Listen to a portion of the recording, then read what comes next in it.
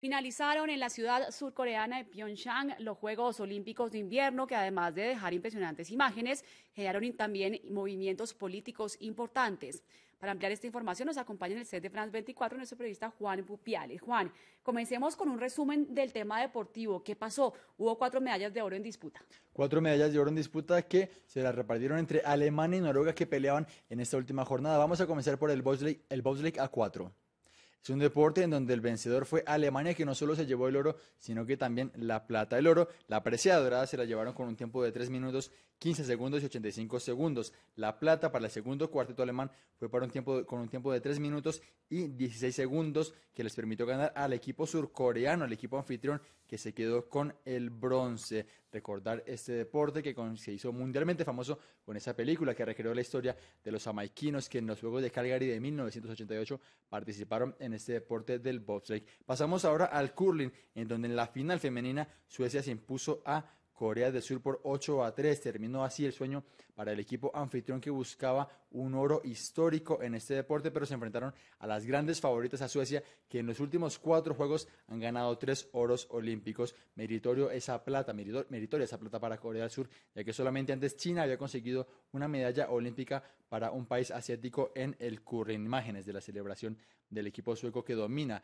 también en la categoría masculina. Pasamos al hockey, en donde Rusia le ganó en el, en el alargue, en el en la prórroga a Alemania por 4 a 3 a la sorprendente Alemania.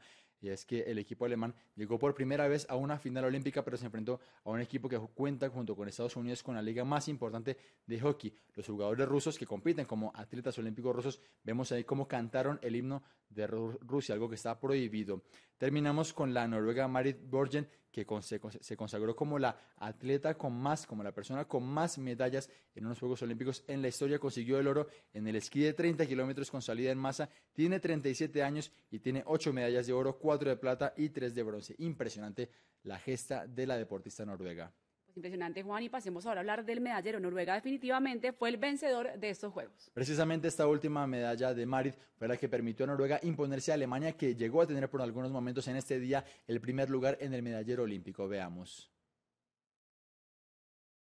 A Noruega se quedó en el primer lugar con 39 medallas. Además, rompieron el récord de más medallas olímpicas. El récord lo tenía Estados Unidos con 37 preciadas. Finalmente Noruega se quedó con un total de 39 medallas, 14 de ellas de oro, la última, como decíamos, de Borgen en el esquí. Alemania terminó segunda, muy meritoria la participación de Alemania y muy meritoria la participación de Noruega, que cuenta, por ejemplo, con la mitad de la delegación que envió un país, por ejemplo, como Estados Unidos, que terminó en el cuarto lugar. Ningún equipo latinoamericano del Caribe consiguió una medalla en estos Juegos Olímpicos. Es muy difícil dadas las condiciones climáticas que tenemos en esta región. Diez países había de la región en, en estos Juegos Olímpicos de Pyeongchang.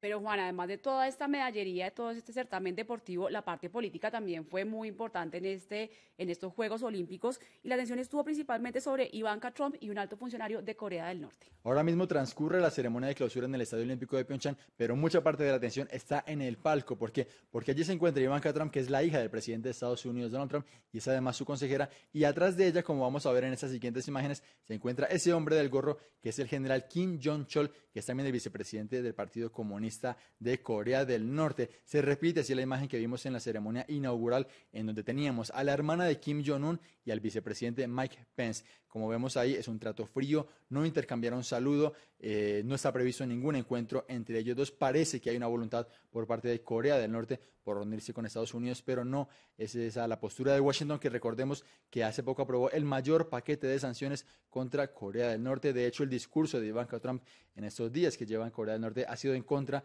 de Corea eh, del Norte, en estos días que lleva en Corea del Sur. En Corea del Sur, por cierto, hubo una protesta rechazando la visita de este alto funcionario norcoreano, a quien se acusa de estar detrás del hundimiento en 2010 de un barco militar surcoreano que terminó cobrándose la vida de 46 personas. Algunas personas de la oposición surcoreana lo señalan como un criminal de guerra.